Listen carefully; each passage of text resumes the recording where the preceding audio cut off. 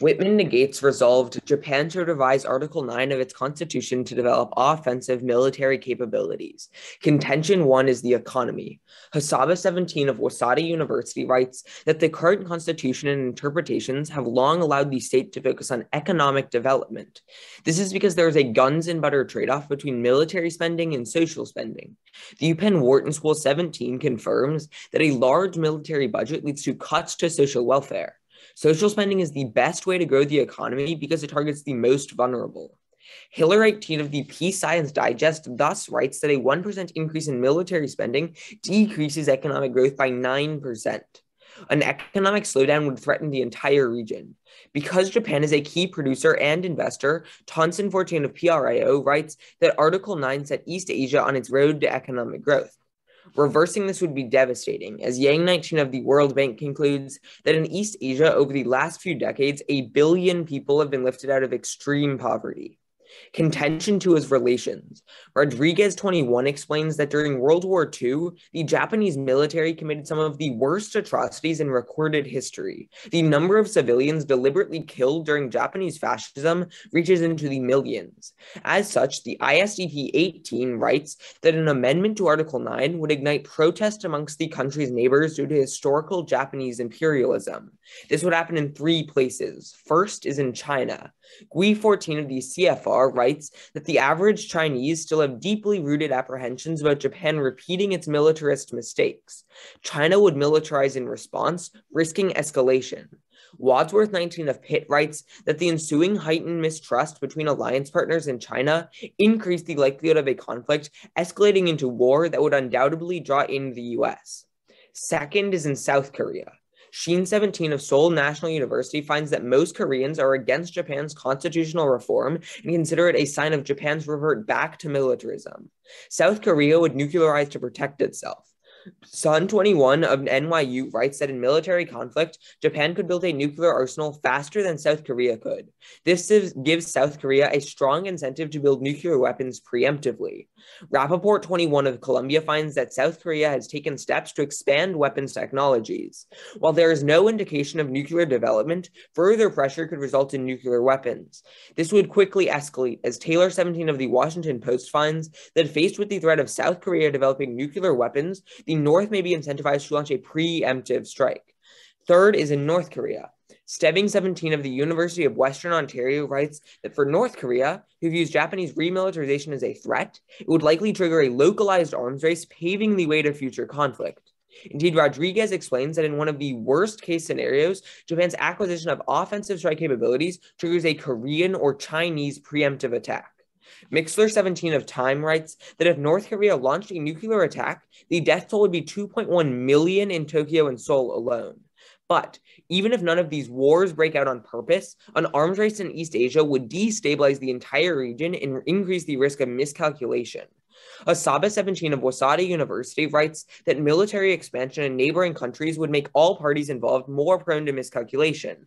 Finley 10 of UT Austin confirms that arms race increases the probability of war by 331%. At the very least, Mason 21 of the conversation finds that constitutional revision will send alarm bells ringing across the Asia Pacific, worsening relations with two of Japan's biggest trading partners, as well as damaging its regional image as a trustworthy leader of peaceful economic investment. To keep the peace in East Asia, Whitman is proud to negate. Cool. Uh, Monica, did you get everything? Yes, I did. And I sent our doc as well. Cool. Uh, and just for everybody's reference, we do recut cards. I just uh, we just like cut it like this for readability. Um, but is anybody not ready? Okay, cool. In that case, Lambert affirmative, Bobby Missel. Lambert affirms in our first argument is military leverage, as Brookings 21 indicates that Japan shares economic or concerns about democratic recession and China's coercive diplomacy has long pressed to include democracies in Asia's regional architecture. However, Echari 12 furthers that Article 9 inhibits Japanese military intervention for the purposes of democracy assistance, setting the limitation on the use of military forces and Japanese response towards the military crackdown of pro-democracy movements in Burma and China at the end of the 1980s. However, Pearson 06 explains that military support has had substantially improved the democratic standing of states, and the democratic changes wrought by military intervention have been long lived over a 60 year period. That's crucial, as Halperin 11 finds that democracies are less likely to become failed states or suffer civil war. As Stein 12 writes that civil wars have caused over 16.2 million deaths, and that trend gets worse unless you affirm. But our second argument is about averting global unrest. As Beckley22 writes, as China will decline due to its lack of resources and risk becoming aggressive to achieve economic goals. As Susaku 20 quantifies, that China's economic growth could drop to 1.7% by the 2030s. Brands 22 furthers that the China of the 2020s will be a country whose coercive capabilities are more intimidating as its economic dynamism fades. That could be the worst possible combination, but thankfully, revising Article 9 turns China's decline into a silent one. First is by restoring credibility. As Gulab 22 finds, uh, with COVID, Afghanistan, tensions with Cuba, Iran, and North Korea, the US is overstretched, facing too many perceived threats at once. As Schuman 22 furthers, uh, the perception that America is too weary to sustain its commitments has taken hold with Chinese leadership. As Cordesman 22 finds, that the US needs to ex- ex- exercise that strategic triage to balance spending and create real world strategic partnership with allied states. As Lin 16 writes, at the anticipation of a weak response from Japan convinces the Chinese government to advance its interest. But second is deterrence. As Siddhartha Says 18 explains, that Article 9 influences funding restraints and limits contributions to regional security. A defensive force is only an effective deterrent if enemies understand that that force can be used. Because of this, Akiyama 21 finds that the frequency of intrusion by Chinese ships into Japanese waters has drastically increased. And Goro 21 finds that Japan plays a unique role due to its location and economic power. Gomez 18 writes, a conflict in gray zones is of great concern, with the possibility that an accidental clash could escalate and Tokyo could deter Chinese overreach. But finally, is bolstering regionalism. As CAD 17 explains that ASEAN's weak commitment for security makes it unlikely that the group will be able to tackle open disputes. Siddhartha 18 finds that no single member of the military strength to challenge the PRC. But with Article 9 revision, ASEAN has an opportunity to leverage one of the regional powers capable of challenging the PRC directly. Japan. As Hydro 19 furthers, uh, with powers like Japan engaging ASEAN members, the emergence of a regional order as opposed to one that is Sinocentric will occur. There are two main impacts to solving the overstretch problem, and the first of which is maintaining global commitments. As Gulab 22 writes that pragmatic options to deal with overseas crises have lost credibility and become hard to employ. Mendao 22 finds that adjusting foreign policy to reflect available resources is the only way to avoid catastrophic failure. The US is juggling the possibility of at least four wars at once, and by shifting burdens to regional allies, the US can strengthen the credibility of its commitments while accommodating for a rising China.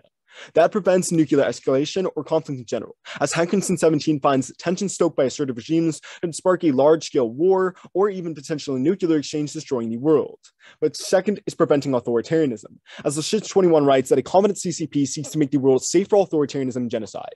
Freedom will drop around the world as human rights violations are excused, and China's imprisoned more than 1 million people in detention camps. Authoritarian countries will band together to erode human rights. That's why a report by the Freedom House in 2021 writes that the share of countries designated designated not free has reached its peak since its beginning in 2006. The Lashitz concludes that China recently solidified its relationship with Russia and is working with smaller autocratic states. Allies that help balance against the CCP diminish that confidence. Thus, Lee finds that Japan's military normalization pretends the creation of a new alliance system in Asia. Things aren't working, so you affirm. Cool. Y'all ready for cross? Yeah. On your first word. Let's start time now.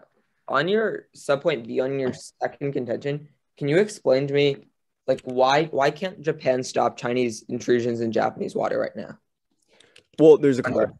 One because considering they're eh, like considered like contested waters legally there is a lot of ambiguity around what japan is actually allowed to do to the like constitution and the legality of it is also super specific and that they're not allowed to do anything unless they believe that like you know the state of their country's survival is at risk which means that you know as much as chinese escalation might be occurring and there is you know obviously that makes it easier for miscalculation to occur it's legally under article 9 hard to actually implement defense in the status quo. With that let's take a look at your c1 i'm just like a little bit confused.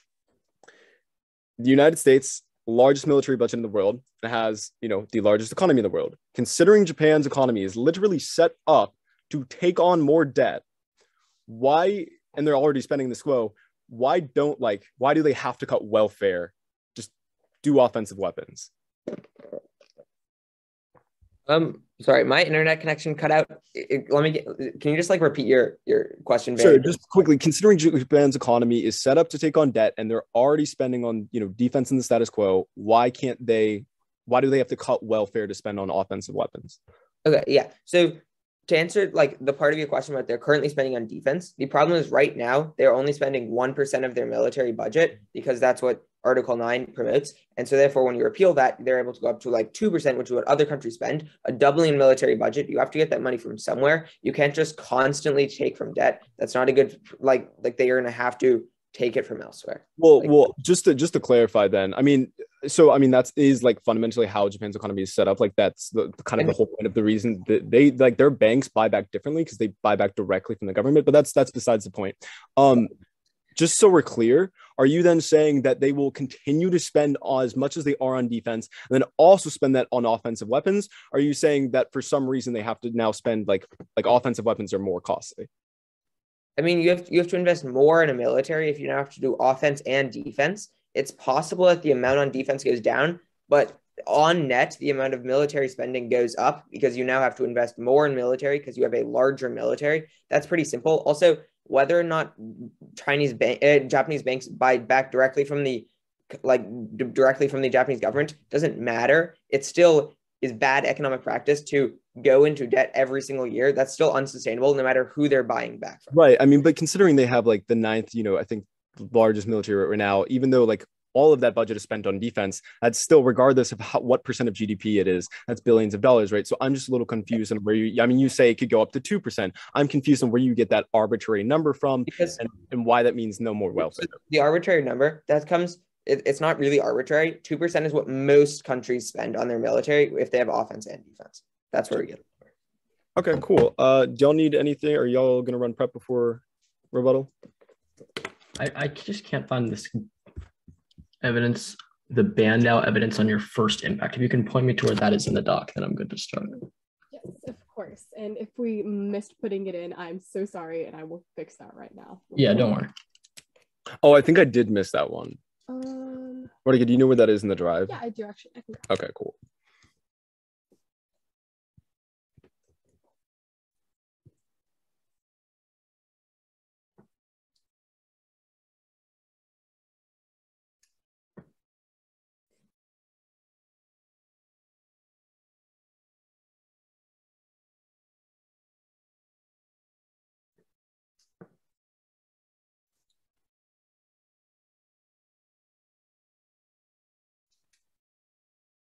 My computer lagged out really badly. Just one second. Awesome. Um, I've got it.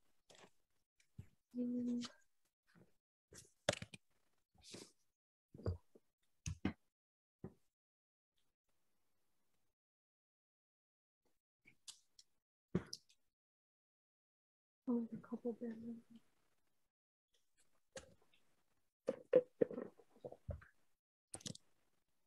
Bobby, can you check the um Mhm. Can you go to the card doc from last round and pull it from there? This is just taking an insane amount of time to open on my end. On the COC dubs, that's the problem. We didn't uh, copy paste it on the TOC dubs. No, no, the, the other after Bobby. Oh my god. Opening anything. Just go to the I- Yeah, sorry. which we had, just This is this is our drives are not working very well, so we're trying to open up. Doc. Well, good. Until you've watched novice policy debaters try to send an email chain and like, I don't know, lose the ability to use Gmail or something for like ever, like you, you have, you're good. this is totally within a reasonable amount of time. Don't stress.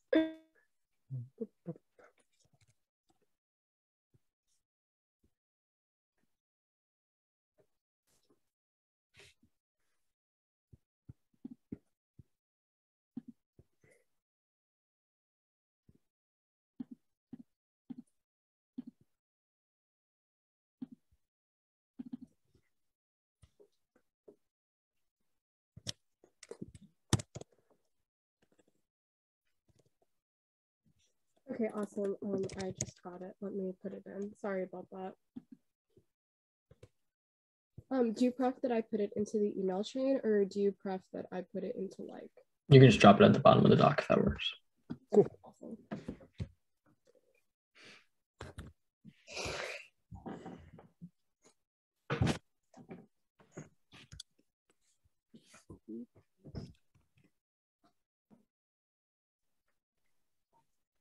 Um, here. Octas. Bottom.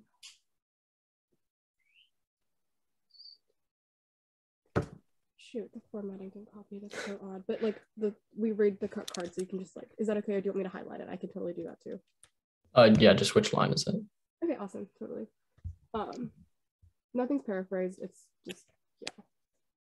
Cool. Um, are we good to go then? Uh, I mean, I'll run a little prep to look at it.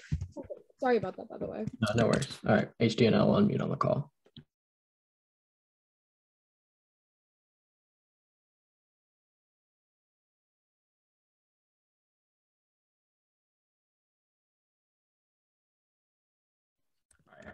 That was um, 12 seconds. Is everyone ready? Okay. On their first contention about military intervention, Article 9 no longer restricts Japan from sending troops abroad. Seed 19 of Reuters writes that in a historic shift in 2014, the government reinterpreted the constitution to allow Japanese troops to fight overseas, furthering Japan proposed a mission by its Navy in Middle East waterways. Second, turn this argument, Japan needs to stay peaceful to have legitimacy. Kono 95 writes that it's extremely important that Japan resolve war-related issues to enhance confidence with Asian neighbors and cooperate in the Asian Pacific. Third, you can turn it again. TAN 15 argues that Japan's push to become a normal military power risks alienating regional countries Japan's selective uh, approach to multilateralism could prove risky for the region's stability. Fourth, you can turn it one last time, affirming increases tensions with North Korea, undermining Indo-Pacific cooperation. Also, 17 writes that scaling back the alliance would destabilize Asia and beyond. It would hand Kim a strategic victory, removing the deterrent to its aggression. All of these terms make it significantly harder for Japan to intervene and promote democracy. On their second contention about China, first, China is defensive. Brands 21 of Hopkins writes that numerous scholars reach a similar conclusion. China attacks not when it feels confident about the future, but when it worries that its enemies are closing in. Here is the link comparison. A concessionary policy towards China has prevented war for 40 years, but as the pivot to Asia has intensified, China has started militarizing per the logic in their case, which proves our analysis correct. Second, you can turn this argument. Contesting China is what causes war. Zhang 16 of Foreign Policy writes that hegemony in East Asia confirms hardliners' view that the United States wants to contain China, undermining moderates. Only hardliners unequivocally seek military power. It directly takes out their case because it empowers the sentiment of hardliners who want military expansion and to expand authoritarianism. On the link about credibility, first you can turn it. Wadsworth 19 of Pitt writes that a Japanese offensive strike could decrease confidence in the credibility of US power as a sign that Tokyo is losing confidence in American credibility. This causes more American allies to hedge with China or develop their own strike capabilities, which further increases instability. Also, generally, American credibility is non-unique. They don't explain why credibility increases when this goes up. Like the wars in Ukraine and Afghanistan have already damaged credibility. They don't explain why getting rid of this reverses any of that. On their second argument about deterrence, they have to win that Japan backs down in the face of deterrence. Any sort of conflict, we believe, becomes far more likely when Japan aggresses in reaction to Article 9 getting repealed. So actor analysis is the highest layer of debate in this round. They have to win anything on the top shelf. Second, the status quo is on our side. There's no gray zone conflict right now. Xiao 21 writes that China and ASEAN have agreed on the code of conduct for the South China Sea. Beijing said it could regulate the activities of China to avoid conflicts. Third, you can turn their argument. The first piece of evidence they read says there's strong resistance within Japan to developing the strike capabilities that they say that they say ends up uh, deterring conflict. So that only happens when Article 9 is repealed. Fourth, even if Japan doesn't need parity to contest China, any semblance of creating deterrence takes forever. Wadsworth 19 writes that it would take a decade to properly equip and train forces for an effective offensive capability, which functions as a turn on their case because China preempts any opportunity to eliminate a deterrent. It takes out all of their arguments on Taiwan on, on, on China because they invade while a window of opportunity is still open. On their last argument about cooperation, first, their evidence gives way too many alt causes for a weak ASEAN, no legal framework and rivalries in the South China Sea, neither of which change in their case. Second, you can turn their argument imperialism prevents cooperation. Suzuki writes that Japan is burdened with stark past in World War II, which led to massive demonstrations during then Prime Minister Tanaka's visit to Southeast Asia. Third, their Aizuwaka evidence also takes out their case. It says that Japan can counter China in the region primarily through diplomatic and technological support, none of which is restrained by Article 9. Fourth, Japan isn't even a member of ASEAN, so they can't fiat in that it wants to be a regional power or that it gets invited to the bloc. None of that work is done in case, don't do it for them. Fifth, a cohesive ASEAN is impossible. Jack Nahan 22 reports that far from a cohesive bloc, the ASEAN claimants are bedeviled by mutual rivalries, trust deficits hinder potential cooperation. On their first impact about war within the United States, war is not coming. Thayer 13 of New South Wales writes that China's assertiveness does not presage conflict. The PLA has been circumspect and armed conflict in the STS appears unlikely. On their second impact about authoritarianism, it's not reverse causal. Countries don't automatically become democratic once they start aligning with the United States. And countries also eventually reject Chinese offers if it leads to authoritarianism. So there's no link. Thank you. Vote nay. Um, awesome. Bobby, you're unmuted. I'm unmuted. Okay, Oh yeah, let me let me just switch switch mics. Yeah. Okay, sounds good. So really quickly before we move on, I need to see a couple pieces of evidence. Is that okay? Yeah, I- I'm happy to share the doc with you. It should have everything. Um, Okay, yeah. yeah. Um, Yeah. that's fine, but just to let you know and make sure that like you're okay with it, I give my rebuttals off the flow, so I don't have like a doc to send you. So if you want, Yeah. I can back evidence if you don't want to send it. That's totally good. No, sure. Yeah, it doesn't matter. You can just call for it. Sounds good. So can I see the evidence that says that countries always like move away from China when things start to get towards like authoritarianism? The very last thing that you read at the bottom of your case? That's an that's an analytic. analytic, that's fine. Can I also see the evidence that says that, sorry, I lost my place. Right, that there's no um, gray zone conflict right now. Mhm. Um, can I also see the evidence that says that uh, the protests evidence? Sorry. Uh, which what what is it in response to? Um, it was right. Uh, I was in uh, in response to uh, regionalism, and it was right underneath that there's too many alt causes as to why regionalism isn't functional. Too many all causes. Yep. Awesome. Good. That's all. Thank you. And then I'll stay unmuted so y'all know we're not prepping or anything with that. HT, grab the. Actually, I got it. So sorry. It was Suzuki thing, and then it was. Oh, so sorry. One more thing, really quickly. Um, it was the second response you read that Japan needs to resolve like war issues first. It was right underneath the collective defense response. That Yeah. one thing. Uh, grab that. Then sorry, Barnacle. What else was it? Um, the second response that you read that Japan needs to resolve like war issues. Yeah, yeah. Sorry, I got that. I meant um. So I have the regionalism turn, and then that turn on your C one. And what else did you want other than that? Um, that was it. Yeah, I think the other Oh. thing. So you're good. So I said. Awesome. I'll let you know as soon as I get it.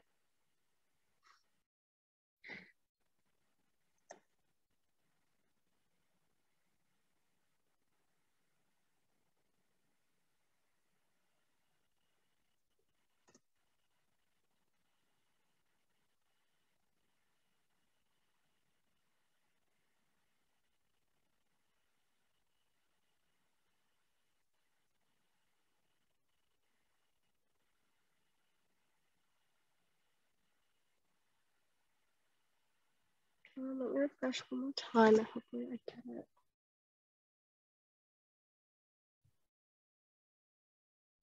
Okay, awesome. I just got it. Um, with that, I think Bobby will probably review that during, actually, we'll just run some prep really quickly starting. Okay, cool. That was four seconds. Um, it's just gonna go our arguments, then my opponent's arguments. Is everyone ready? Okay, sounds good. Felix says the highest level in today's should debate should be actor analysis, but unfortunately, there's very few warrants behind everything he tells you. Let's start with his first response about collective defense. The biggest caveat to this establishment of Japanese policy is the fact that the Japanese people have to be under threat for them to do anything or go abroad. That's really important because that means Japan can't truly stand up for its allies or truly stand up for the interests of other countries without the Japanese people being in threat, which is why they're not a great leader. But furthermore, he talks about how Japan needs to resolve past war issues and all of that, but recognize that Japan is already doing everything it can to mutually enhance cooperation and confidence today. Because of economic things, they've built trust. However, what Japan lacks is the credibility that other allies will think, hey, Japan will stand up for us when things get tough. When you revise Article 9, we reinstate that credibility because the relations have already begun improving. Then he goes on to tell you that, well, regional alliances aren't going to work. They'll never work with Japan, but there's not really any warranting here. Furthermore, they say, well, everything will become bad with North Korea, but that's just an extension of their case. Let's go to the China argument. They say, well, China only gets aggressive when people are closing in, but here's what they don't miss even if Japan gets you know a revision of Article 9, they will still not be able to completely take over China like they did during the period of imperialism.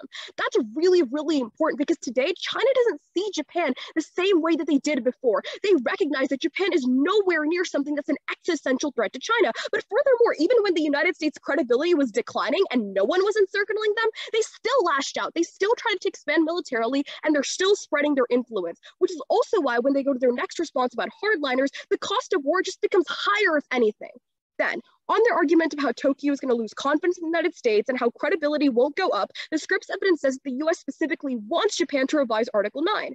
Then they get up and say, well, Japan's going to aggress. But there's no warrant here. Again, Felix, where's the actor analysis you were talking about? Then they said there's no gray zone conflict, but that's just not the fact. Like, their evidence just speculates something might happen, but like China's literally putting ships into the ocean. They're literally building islands. Like that's just what's going on in the squo. Then they say, well, oh, Japan takes way too long to build weapons. What we say is a question of reposturing. They've literally hit the sixth highest spending of their military right now, meaning that they have the funds to invest, and they would just be a question of how they use their existing military. Lastly, on regionalism, they say there's way too many alternative causes, but the fundamental issue with this is this is why we need Japan.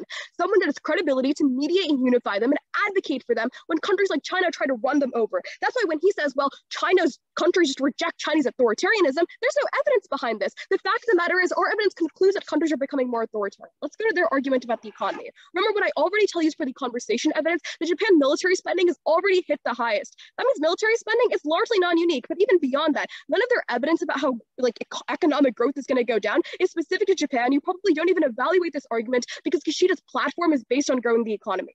Let's go to their argument about relations. We say, first off, countries don't act on impulse. They're going to wait and see the kinds of actions that Japan takes, which is why even when they reinterpreted Article 9 and Japan supposedly gained more capacity, there wasn't as so much of an offensive measure from any country. Countries have political rhetoric all the time that, hey, we're going to preemptively strike you, we're going to do this, that, and the other, but they would never take the threat of endangering themselves with the United States, like their own analysis tells you, or getting into a conflict without a reason for it. But second, we say that so many countries have revised from imperialism. For example, Germany, even China after the Cultural Revolution, simply because they have new governments that do different things. We say Japan is on the same trend. But more on China specifically, we say their Wadsworth evidence is horrible because it only looks at things from a foreign policy's perspective without giving regard to the fact that Japan and China are so economically interconnected that China realizes Japan won't ever do anything because they're too reliant on that. On South Korea, the Kim 16 evidence explicitly says that because South Korea is so trade dependent, they were never risk proliferation. Even so, the similar threat perceptions of Japan and South Korea avert that.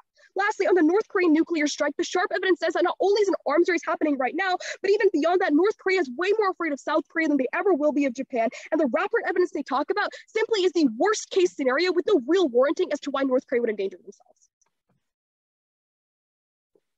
Awesome. Are y'all ready for cross? We see South Korea's trade dependent, so they won't get a nuclear weapon. And can we see the sharp evidence that in response to the North Korea argument? Um, let me grab that for you. Um, Bobby, can you get sharp? I got no coat.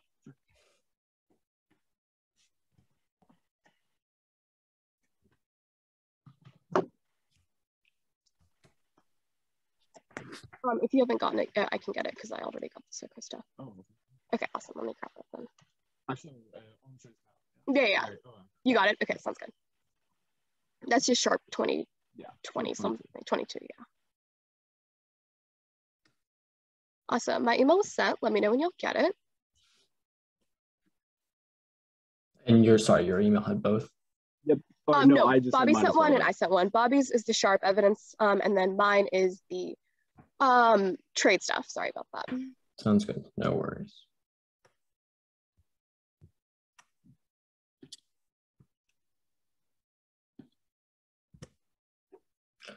Okay, I have Bobby's okay, maybe just give it one more second to come through. And then if it doesn't, I can just copy paste it at the top of our case doc. Um, I've had to do that a couple rounds because my email just keeps lagging out on me.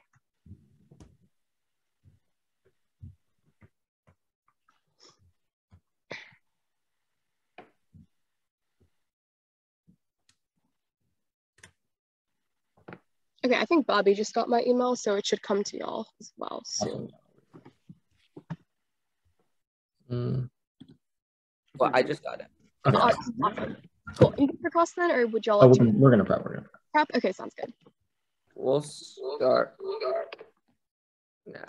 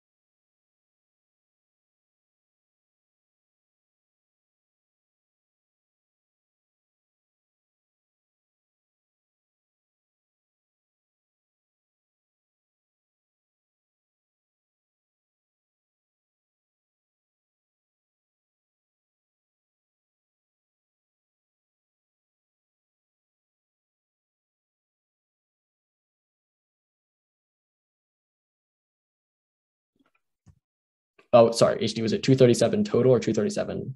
237 then. So Okay, so then 15. So three, eight seconds left. All right. You ready now? Yes, for sure. You can take the first question. Okay. On your first contention, we say that Article 9 does not restrict Japan from sending troops to other countries. You say that people have to be under threat Yeah. for Japan for them to support Japan sending troops. Yeah. So does that mean that your argument is that when Article 9 gets repealed, Japan becomes under threat, so then people support sending troops to other countries? No, no, no, not at all. It's simply that that clause doesn't exist. So Japan can do things like use their military in other countries without their people being under threat. It's But- definitely not that we should endanger the Japanese people. That'd be ridiculous. Well, okay, yeah, I, I didn't think that was your argument. It's just that's the way I thought it came out in rebuttal. But um, on so why does but if they've reinterpreted away that clause, then why does that matter? Article nine matter anymore? You know, they Like- haven't. So what the Japanese cabinet released after the reinterpretation was essentially saying, yes, we're going to have this policy of collective self-defense because we want Japan to sort of be more involved. However, the caveat that was sort of included in this clause is that collective defense can only be employed when they think that a situation will pertain to hurting the Japanese populace directly. Right. So, for example, when there's issues in other countries, like take like like the genocide in Myanmar that Japan wanted to intervene in, but ended up with weak military support, they were unable to do so because, as bad and horrific as that genocide is, it doesn't really do anything to the safety of the Japanese populace. So, because of that, they weren't able to successfully employ stuff. It's situations like that. Do you mind if I take a question? Go ahead. Sounds good. So let's talk about your North Korea argument. So, Mhm. looking at sort of the Rodriguez evidence that you read, it simply just asserts that the worst case scenario that could possibly happen is like a preemptive strike. But insofar as sort of you tell me yourself that if all of this were to happen, the United States would get involved and there'd be nuclear weapons everywhere, what is a country's incentive to sort of put their entire regime at risk for the idea that Japan may or may not maybe act on this clause change in their constitution? Uh, it seems like we both seem to agree that the primary goal of North Korea and the Kim regime is to ensure the survival of their regime. So yeah. they view the threat of their historic colonizer and imperializer um, as increasing when Japan repeals Article 9 and develops offensive capabilities. So they believe that they're put then in a try or die situation. Either Japan will strike them when their capabilities get fully developed, or they launch a preemptive strike before Japan has capabilities and try to eliminate those capabilities before Japan can develop them. Really quick follow up though, what I'm sort of confused about though, right, is that if Japan isn't taking any sort of indication that they're going to posture against North Korea, whereas literally countries like the United States and South Korea have, and on top of that, like Kim knows that if we fired someone, something at Japan, the United States will for sure get involved. Why is it likely that he's going to turn away that for sure guarantee of US involvement and basically like regime destroyal for the maybe chance that even without any posturing or even so much as Japanese rhetoric that they're going to attack North Korea? In response to your second part of your question about the United States getting involved, it's just the same response that I gave to your last question. They believe it's a try die situation. The regime will go down if Japan develops offense capabilities. In response to the first part of your question about, uh, and I'll, I'll just finish answering. But in response to the first part of your question about it not being tar- not targeting North Korea, the point of our case is that it's seen as a symbolic revision, a return to their past that they think will be used to target them. Can I see evidence with the caveat? Yeah, definitely. Let me grab that for you.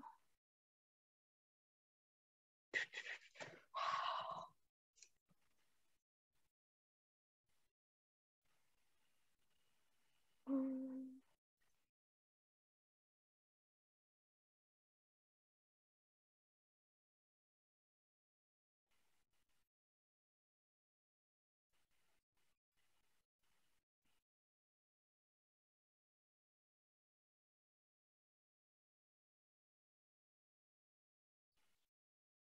Um, Bobby, can you look for that as well? Because my sure, taking. Um, just that collective defense uh, means that the Japanese populace needs to be endangered. Oh, I have that. Yeah. The Japanese cabinet mm-hmm. evidence. Yeah, yeah, yeah. Yep, yep. Yep, I will send that. Um, show me what piece of evidence it is before you send it, just so it's the correct one that I used in rebuttal, just to make sure we're all on the same page. Is it this? Um, Yes, yes, yes. Perfect. Thank you. Cool. I got you. I love his laptop so much more than mine. That's saying something. It's my laptop's slow too. All right. That was just sent. I'll let you know when I get it. Awesome.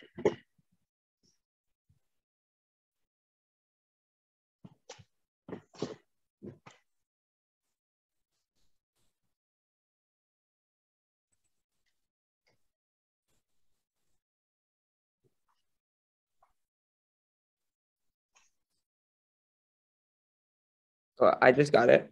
Uh, Felix will read it while, while like I speak. So I'm good if everyone else is. Yeah, we're good to go.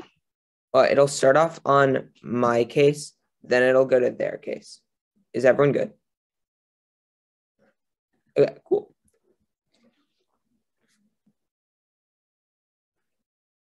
You're going to be voting neg on our second contention. Extend the argument. Rodriguez finds that Japan committed some of the worst atrocities in World War II and has still not been, been forgiven. We're going for our China link specifically. We finds that China's deep apprehensions of Japan's military, which would cause China to militarize too. Wadsworth finds that that would increase the chance of war, especially one including the US. Even if this doesn't happen, a regional arms race would increase the chance of miscalculation, and repealing Article 9 would destroy Japan's image as a regional peacekeeper and trading partner. We're going for the first, uh, the, uh, like, start off at the top top shelf response. They say that this should have happened with reinterpretations like in 2014. The problem is, is all of those were defensive, things like allowing for collective self-defense. Obviously, that's not going to put China in risk because they still can't start a war. This it, it this changes when you fully repeal Article 9, now allowing them to start a war. That's the difference.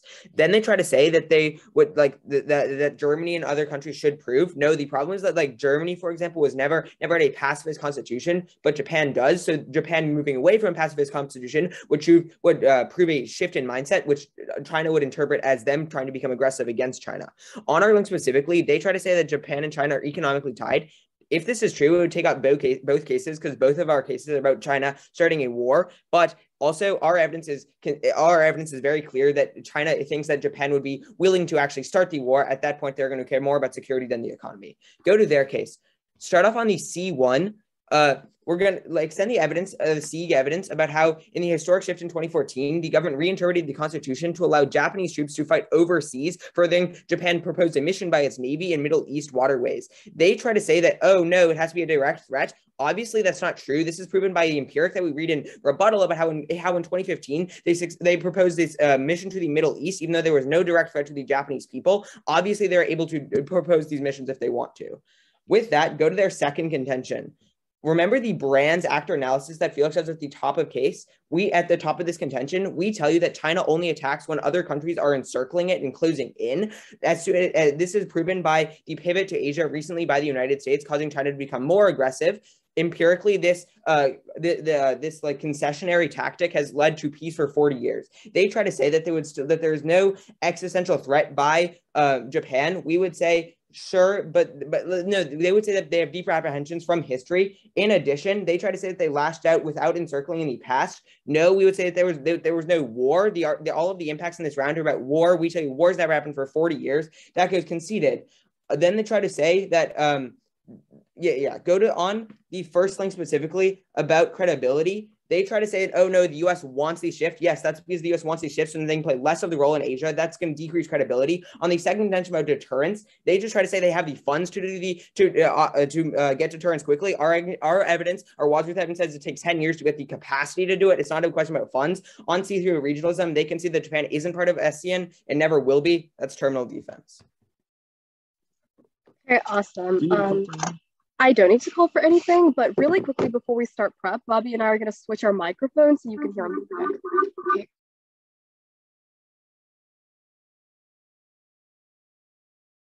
Sorry, I was just yelling at him for the feedback thing. We're going to start our prep. We used 10 seconds earlier.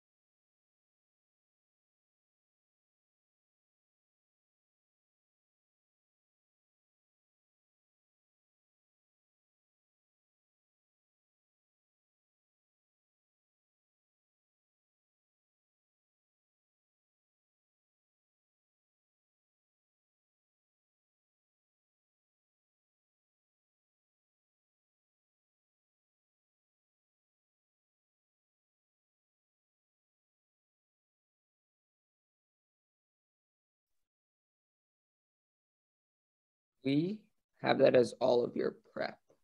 Yep, I got you. We do too? Sounds good. So, order of the speech, I'm just going to cover our arguments, a little bit of comparative, and then I'll go over to my opponent's arguments.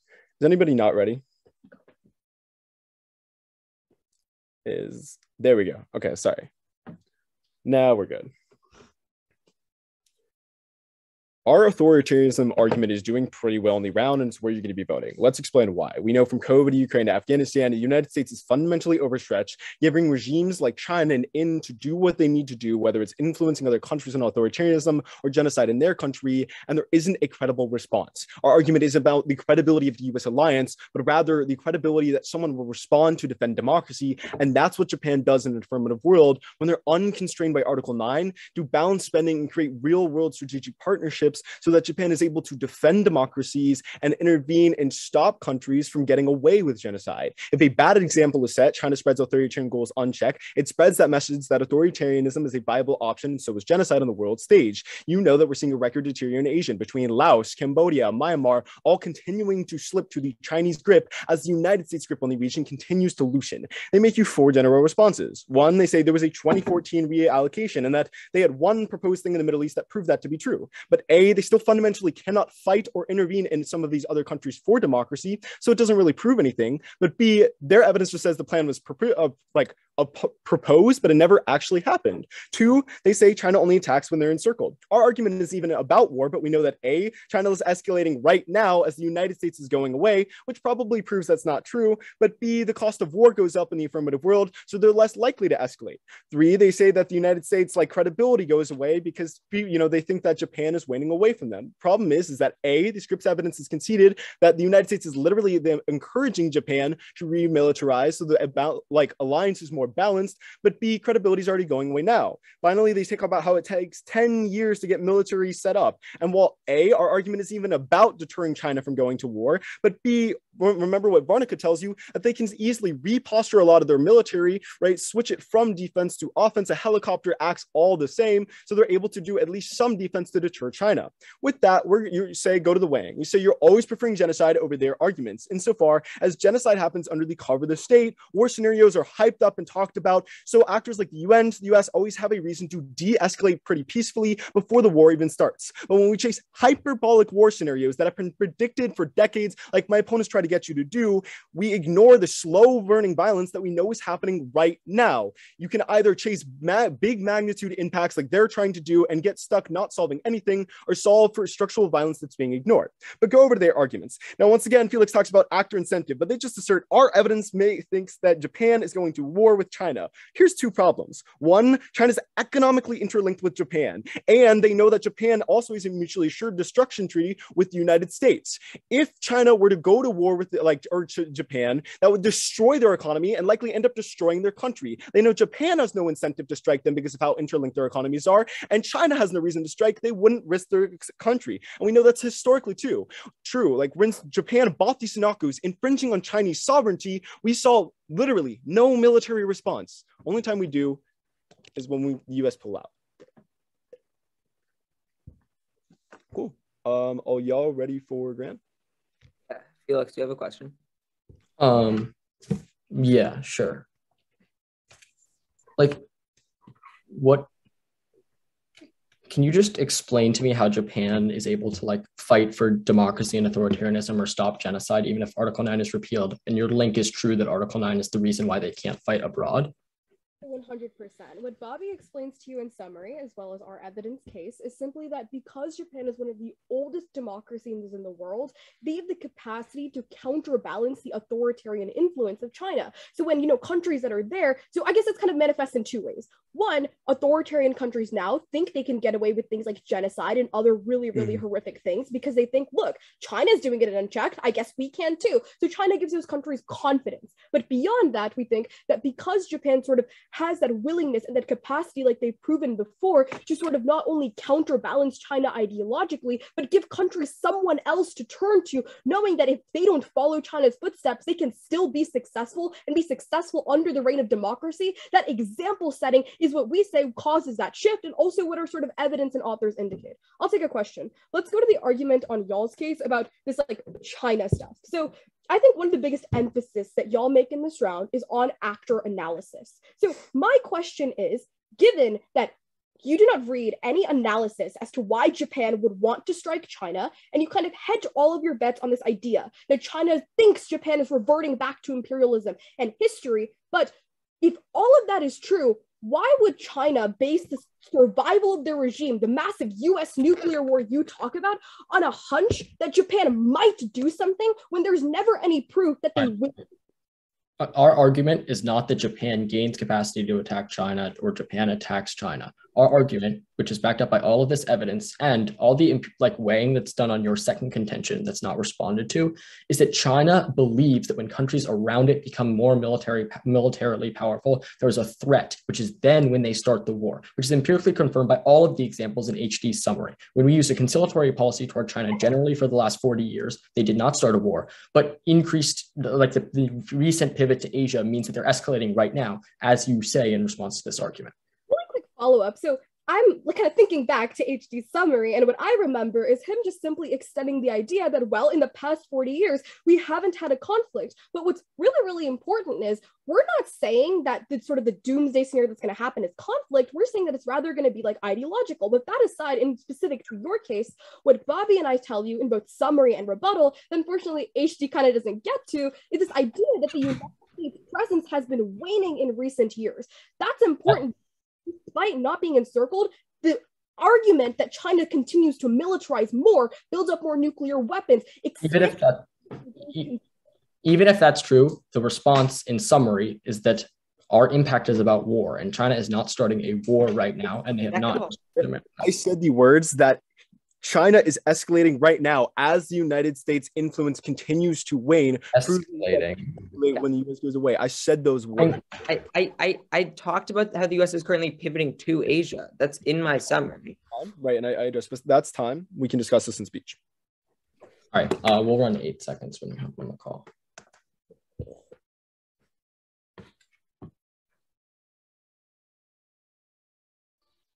Yeah. You call me. You call me. I did. No, I know, but like I'm saying, call again because whatever. We'll start prep now.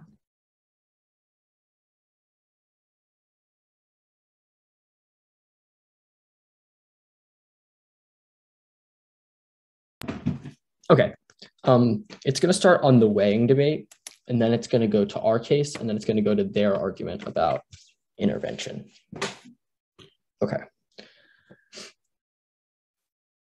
There is not enough work done on this weighing for you to consider new genocide framing in second summary. They don't explain how the United Nations is able to stop a war between China and Japan, so it doesn't specifically take out our scenario. All death is bad. Even so, they've conceded that our argument is a prerequisite. Japan needs good relations to be able to intervene and stop genocide in countries across Asia. So if we win our case that Japan's relations with its neighbors get worse, then that prevents their ability to stop genocide. So you're looking to our case first.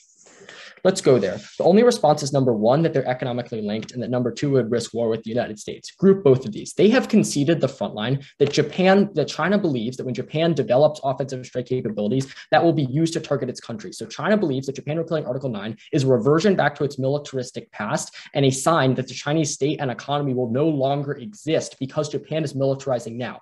All of the actor analysis here is conceded and completely undercovered in their summary. Our Brand's evidence indicates that China attacks when countries are closing in, which is why while there was no war for 40 years with a concessionary policy, China only started aggressing when the United States started pivoting towards Asia. All of that uniqueness is on our side. On their flow, on the China argument, they have two responses. First, they say China's escalating right now. Yeah, they're escalating right now because we're pivoting to Asia right now. And even if they are escalating, it's not war. The only way a war starts is when Japan repeals Article 9. Then they say that it increases the cost of war through deterrence. Are they have conceded that China does not care about deterrence? That is, it escalates when the cost of war goes up. It does not get deterred.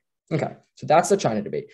But the only offense they have left in the round, they're not winning. Our Sieg evidence finds that Article 9 no longer restricts Japan from sending troops abroad. The cabinet has interpreted Article 9 to allow for collective self defense, meaning Japan can do the kinds of interventions that they say are so crucial to stop genocide. They say two things. First, they say Japan can't fight for democracy right now. That is untrue. Clearly, Japan is able to fight for democracy because they sent a mission to the Middle East to do the kinds of things they say. Then they say that the mission was only proposed but it went through. So they're staking their whole case on the idea that this mission was proposed. I'm happy to send you our evidence. It says that it went through. So they have no case. Very simple ballot for the day. Okay, sounds good. So it's going to be my opponent's arguments. Actually, it's going to start on our arguments about authoritarianism, then my opponent's arguments in China. Is everyone ready? Okay. My opponents lose this round when their summary chalks up this entire debate to be about war, our argument is everything but that. The fact of the matter is now, like Bobby extends the goal of evidence, that the United States commitments are waning. And he gives actual examples pointing out between the pullout in Afghanistan, the fact that they're not actually committing troops to East Asia, and the disaster scenario that happened in Ukraine. Not only do our allies not trust the United States, but China doesn't either. That's really important because China now thinks they can get away with whatever they want. And it's not just China, it's other authoritarian regimes too. They think no one's going to check us. We can do whatever we want, which is why the Freedom House evidence concludes that it's increased almost 75%. That's really devastating because you know that over 1 million people in China are being genocided in this moment. But when you revise Article 9, you not only counterbalance China ideologically, but you give Japan the credibility so other countries can say, hey, look, there is a route that is not China, that is not authoritarianism, that's successful and credible. The one response that Felix hedges everything on is this idea that, well, they have collective defense. Take their argument at their highest ground. Our argument is still perceptual that countries don't see the credibility with Japan. But even beyond that, Bobby's front line is stellar. Our evidence explicitly says they can only go in when it's about Japanese survival. That doesn't matter if they did one random excursion in the Middle East when they literally do not have the back of their allies as per literally the evidence given by the Japanese cabinet. That's why let's go to the weighing debate. The prereq that they give you is, oh, we need good relations with our allies. The only country they talk about is China. We don't need good relations with China to counter China. This prereq makes no sense at all. But the genocide weighing is really, really good. Felix the second part of what Bobby says that because genocide happens under the cover of countries, it's never focused on. Big war scenarios are always going to be publicized in the media and taken care of, which is why they always get addressed first, and the genocide of millions of people gets pushed aside. So let's go to their case. The biggest concession that they make is that Japan's not going to intervene. He talks a lot about actor analysis, but China knows that Japan needs China. China's a pretty smart country. They would never think a country that's reliant on them is going to attack them. Beyond that, China's not going to risk their regime's survival of a US nuclear war. At that point, because China's a smart country and Japan only makes it harder to fight. Good round, Lambert. Good round, y'all. Yeah. Always fun debating. Yes.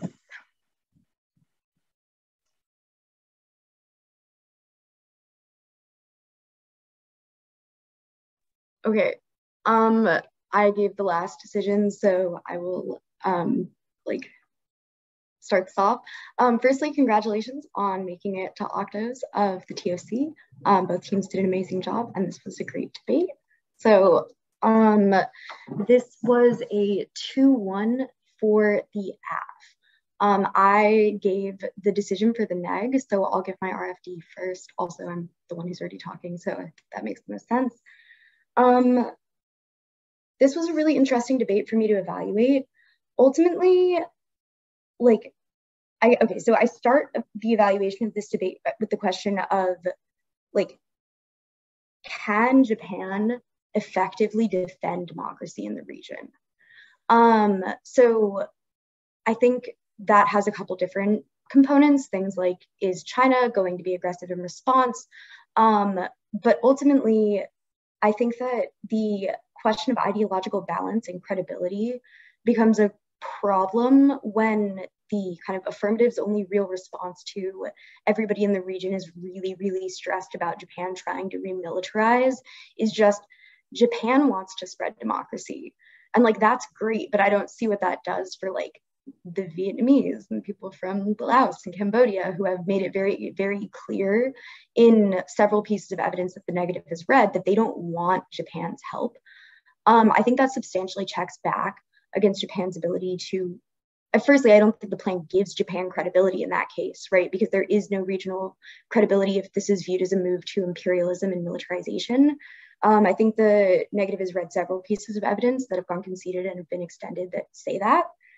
Um, so then I kind of, I mean, like that is in itself almost sufficient in a world where the framing is a question of like structural violence and genocide um, like this will just be a move that creates conflict in the region. Uh, but the other components of this is so I end up looking at this like question of collective self-defense. To what extent can Japan intervene in particular situations? Um, I think that the let me see if I can see the specific piece of evidence I read. The Richter evidence um, actually specifically says, um, here, wait, I can, I can read you the line. The Richter evidence says, on July 1st, 2014, Article 9 now permitted Japan to exercise collective self-defense and to come to military aid of an ally under attack.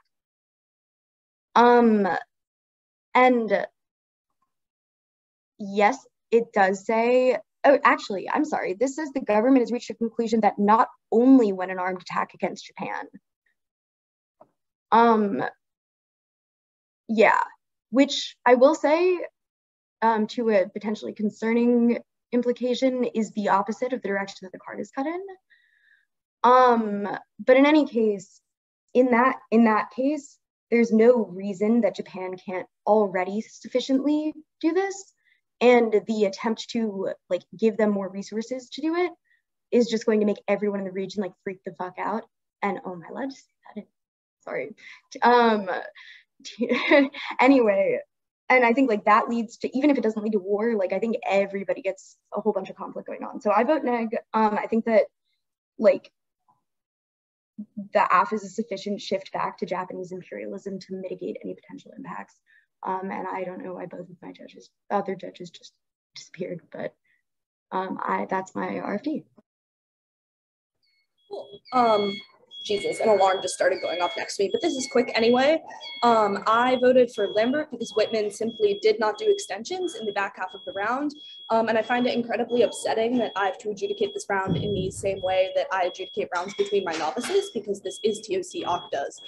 I also think that Lambert is ahead on many of the Lake and weighing debates. I don't actually think the genocide weighing is too late because it's weighing, not framing. So I feel comfy evaluating it. Um, in contrast, Varnica responds to the prereq pretty well on the authoritarianism link. I think that the encirclement debate is a wash, considering that Lambert's argument is not actually about war or conflict.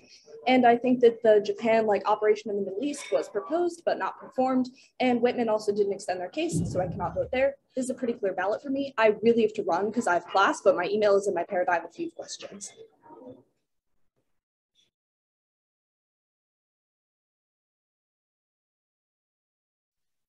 Okay, uh, I, am the last one. Uh, I'm uh, basically uh, I uh, base uh, my judgment on on the te technical side. I'm not like use my own opinion to judge the uh, if the case is right or is wrong or something like that. Uh, basically, uh, both uh, presented their case uh, very well, uh, especially the first speaker of uh, NEG team, uh, very uh, well organized and concisely, and uh, both did balancely in the rebut rebuttal.